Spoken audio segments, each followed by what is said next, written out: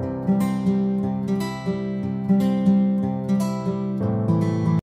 Everyone तपाईँहरूलाई फेरि पनि स्वागत छ हाम्रो च्यानल एजुकेसन फाइमा आज कक्षा एघारको फिजिक्समा रहेको ड्रिफ्ट भेलोसिटीको एकदमै इम्पोर्टेन्ट डेरिभेसन गर्न जाँदैछौँ। सो अब ढिला नगरिकन भिडियोतिर लागौँ। यो अलिक राम्रोसँग हेर्नुभयो भने एकदम छोटो डेरिभेसन छ तपाईँहरूले एकैछिनमा बुझिहाल्नुहुन्छ। सबैभन्दा सुरुमा हामीले निकाल्न पर्ने भनेको I is equal to N A V E अथवा I is equal to V E यानि भेना आई इज इक्वल टु भेना भन्ने एक्सप्रेसन निकाल्न पर्ने हो यो ड्रिफ्ट भेलोसिटीमा अब जानौँ ड्रिफ्ट भेलोसिटी भनेको के हो? ड्रिफ्ट भेलोसिटी भनेको एउटा हामीसँग एउटा कन्डक्टर छ अरे। कन्डक्टर छ अरे। यहाँनिर यहाँनिर यहाँनिर। कन्डक्टरभित्र त के हुन्छ? फ्री इलेक्ट्रोन्सहरू हुन्छ। अब यो कन्डक्टर भनेको के हो त? अब जस्तै हामीसँग एउटा यस्तो खालको कपर वायर लामो खालको एउटा कपरको तार छ अरे। तार छ अरे हामीसँग जस्तै अब हाम्रो घरमा वायरिङ हुँदाखेरि के हुन्छ?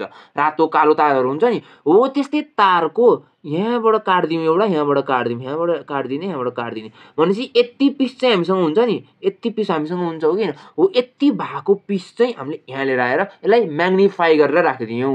म्याग्निफाई गरेर राखेपछि अब यहाँ के हुन्छ यो भित्र त फ्री इलेक्ट्रोन्सहरू हुन्छ यदि सप्लाई छैन अहिले यहाँ सप्लाई छैन भन्ने बुझ्नु है यहाँनिर सप्लाई छैन अहिले सप्लाई दिएको छैन। फ्री इलेक्ट्रोन्सहरू हुन्छ फ्री इलेक्ट्रोन्सहरू भनेको माइनस साइनले रिप्रेजेन्ट गरिन्छ फ्री इलेक्ट्रोन्सहरू हुन्छ। फ्री इलेक्ट्रोन्सहरू के हुन्छ मोबाइल हुन्छन् यिनीहरू यताउता ऱ्यान्डम एकदमै ऱ्यान्डम हुन्छन्।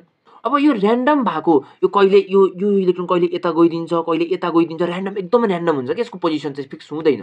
अब यसलाई चाहिँ के गर्ने भन्दा इलेक्ट्रिक फिल्ड अप्लाई गरेर इलेक्ट्रिक फिल्ड अप्लाई गरेर एकतिरबाट इलेक्ट्रिक फिल्ड अप्लाई गरिदिने यो चार्जमा अनि अर्कोतिर चाहिँ फ्लो हो भनेर लगाइदिने क्या यसमा। हो त्यसलाई नै ड्रिफ्ट भेलोसिटी यतिखेरको भेलोसिटीलाई नै ड्रिफ्ट भेलोसिटी भनिन्छ। अथवा यदि सिम्पल भाषामा भन्ने हो भने यो electric field external electric field लगाउँदाखेरि यो इलेक्ट्रोनहरू मुभ भएर यहाँनिर के हुन थाल्छ? फ्लो हुन थाल्छ।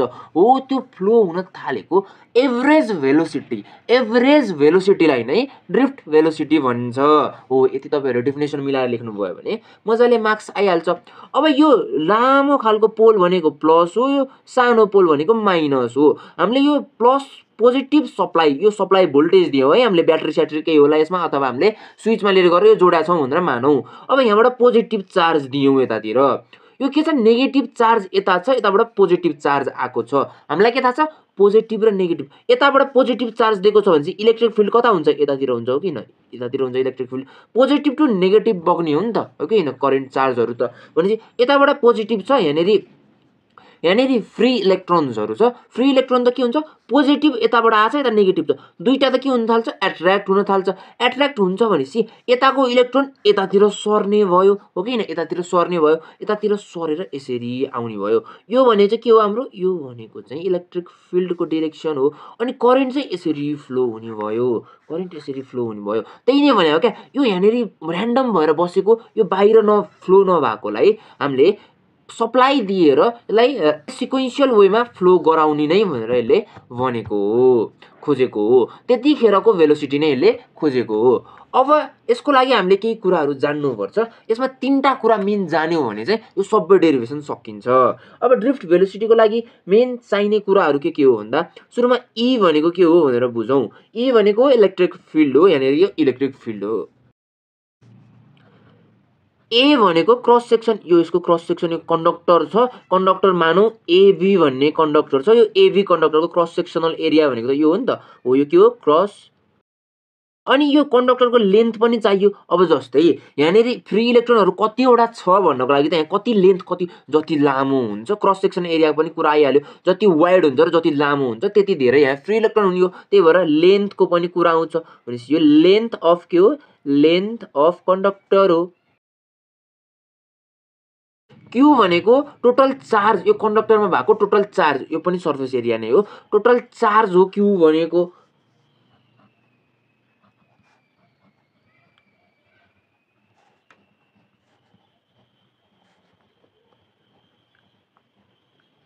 भी भनेको भोल्युम भोल्युम भनेको यसमा कतिवटा यो लेन्थ र एरिया मल्टिप्लाई गर्दाखेरि भोल्युम आउँछ कतिवटा चाहिँ इलेक्ट्रोनहरू बस्न सक्छ त कति चाहिँ चार्ज भएको कति कन्सन्ट्रेसन छ यसको हो त्यो नै भनेको हो। अनि अर्को एउटा मेन भनेको एन भनेको बुझ्नुपर्छ।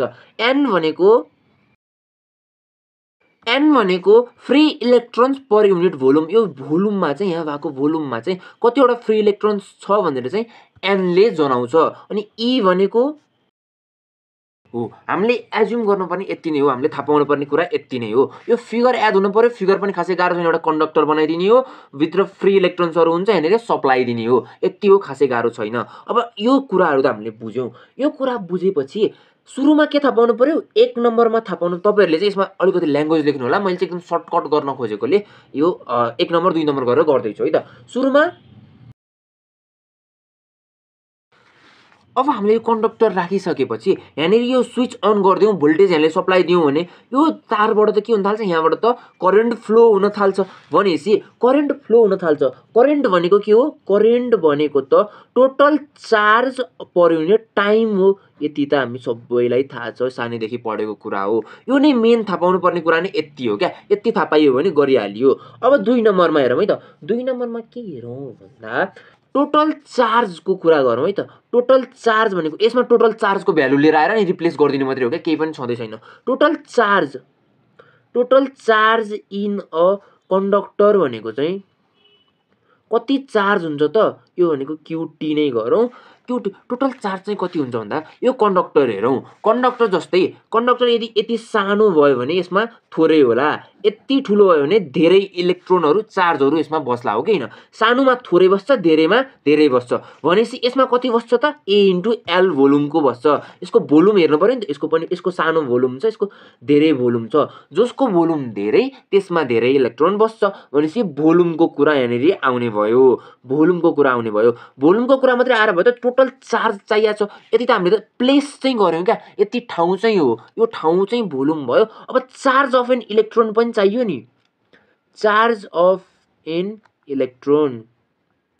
Electron चाहियो इज इक्वल टु अब यो दुइटा भयो भोल्युम र चार्ज भयो। तर चार्ज मात्रै भनेर भयो नि कतिवटा इलेक्ट्रोन छ पनि कुरा गर्नु पऱ्यो भनेपछि N into V into E गर्नु पऱ्यो एन भनेको नम्बर अफ इलेक्ट्रोन्स भी भनेको टोटल भोल्युम ई भनेको चार्ज अफ एन इलेक्ट्रोन अब एन भनेको एन नै राखौँ। भी भनेको के हो? भी भनेको ए इन्टु एल हो एरिया इन्टु लेन्थ हो इन्टु ई गरौँ। क्युटीको भ्याल्यु आयो यो हामीले बुझिहाल्यौँ। टोटल चार्ज एउटा कुनै पनि क्लोज यस्तो खालको क्लोज कुरा छ।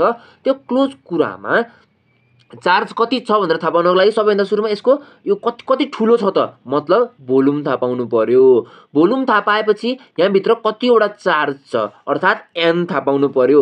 अनि त्यो चार्जको भ्यालु जस्तै ईको भ्यालु भनेको वान पोइन्ट सिक्स इन्टु टेनको पावर माइनस नाइन्टिन कुलम्ब हुन्छ। हो कि हो कति चार्जको कुरा हो? यहाँनिर इलेक्ट्रोन मात्रै होला भन्न सकिन्छ त? सकिँदैन नि। प्रोटोन पनि हुनसक्छ जे पनि हुनसक्छ यसमा। त्यही भएर यसको चार्ज पनि थाहा पाउनुपर्छ। भनेपछि एनएएलई एनएलई भन्ने एउटा आयो क्युटी भनेको। अब यो दुइटा थाहा पाइसकेपछि त यो इक्वेसन आई मानिदिउँ यसलाई यसलाई इक्वेसन आइआई मानिदिउँ इक्वेसन आइआईको भ्यालु भनेको यो भनेको क्युटी हो। यो क्युटी लिएर गएर यसमा हालिदियौँ भने त हाम्रो मिलिहाल्छ भनेपछि रिप्लेसिङ रिप्लेसिङ गर्दा त आई भनेको त क्युटीको ठाउँमा N into A into L into E गर्नु पऱ्यो होल अपनमा टी हुने भयो। यसलाई सिम्पलेस्ट फर्ममा लेख्दा N into A into E गरौँ इन्टु एल अपनमा टी गरौँ। यो एल अपनमा टी हामीले किन गरेको त? एल अपनमा टी गर्नको लागि एल भनेको के हो? लेन्थ हो। कन्डक्टरको लेन्थ हो। कन्डक्टरको लेन्थ यो भनेको के हो? यो भनेको त हाम्रो डिस्प्लेसमेन्ट हो। यहाँदेखि अब यो इलेक्ट्रोन घुम्न सक्यो भने पनि फ्लो गर्न सक्यो भने पनि यो भोल्टेजमा हुँदाखेरि है यहाँदेखि यहाँसम्म मात्रै हो फ्लो गर्न सक्ने योभन्दा बाहिर त फ्लो गर्न सक्दैन। अनि लेन्थ डिस्प्लेसमेन्ट अपनमा टाइम भनेको के हो हाम्रो? भेलोसिटी हो। निकाल्न पर्ने नै हामीलाई ड्रिफ्ट भेलोसिटीको कुरा हो। इन्टु भी हुने भयो। यति भनेको के रहेछ? भी रहेछ भिडी यहाँनिर मैले रिजन पनि लेखिदिन्छु। एल बाई टी भनेको भी हुन्छ ड्रिफ्ट भेलोसिटी हुन्छ भनेपछि हाम्रो फाइनल एक्सप्रेसन यता लेखिदिएँ मैले। आइडी भनेको drift current is equal to V D into E into N into A हुँदो रहेछ। भनेको I is equal to V E N A भेना हुँदो रहेछ। यति मात्रै गर्ने हो क्या? हामीले अरू केही गर्न पर्दैन। अब ड्रिफ्ट भेलोसिटी निकाल भनेको छ भने करेन्ट दिन्छ चार्ज आफूले थाहा पाउनु पऱ्यो one point six into ten to the power minus nineteen हुन्छ अनि कन्सन्ट्रेसन अफ इलेक्ट्रोन पनि दिएकै हुन्छ सर्फेस एरिया पनि दिएकै हुन्छ। भनेपछि बी यहाँबाट थाहा पाउन मिल्दो रहेछ। अथवा यदि यसलाई अझै सिम्पलेस्ट फर्ममा लेख्ने हो भने भिडी भनेको आई अपनमा इएनए हुने भयो ड्रिफ्ट भेलोसिटीको एक्सप्रेसन यो आउने भयो। यति सजिलो थियो क्या यो? एकदम सजिलो केही बुझ्नै पर्दैन। सुरुमा बुझ्ने भनेको करेन्टको डेफिनेसन हो करेन्टको डेफिनेसन बुझेपछि चार्ज भनेको के हो त? चार्ज भनेको कुनै पनि अब्जेक्टको भोल्युममा कतिवटा इलेक्ट्रोन इलेक्ट्रोन भने अहिले मैले अथवा कतिवटा पार्टिकल छ इन्टु त्यसको चार्ज त्यति हो। Total volume occupied into particle into charge of particle त्यति गऱ्यो भने त चार्जको कुरा आइहाल्यो। अनि त्यो रिप्लेस गरिदिने रिप्लेस गरेपछि यो एक्सप्रेसन आइहाल्यो। हामीले मजाले गर्न सक्ने भयौँ। सो आजको लागि चाहिँ यति नै थियो। आई होप तपाईँहरूलाई भिडियो मन पर्यो। यदि यो भिडियो मन पऱ्यो भने भिडियोलाई लाइक गरिदिनु होला। भिडियोलाई आफ्नो साथीहरूसँग सेयर गर्नु होला। र हाम्रो च्यानललाई सब्सक्राइब गर्न नबिर्सिनु होला। हस् थ्याङ्क यू भेरी मच